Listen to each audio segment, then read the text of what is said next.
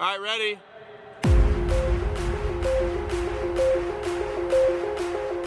Now that it's the fifth year of the Joel Schwartz Memorial Hockey Tournament, it's time to show you what it looks like from our point of view.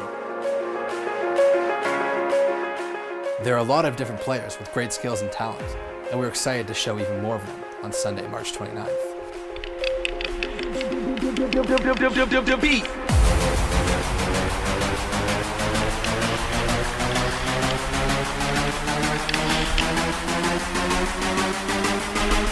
Now it's time to see what I see.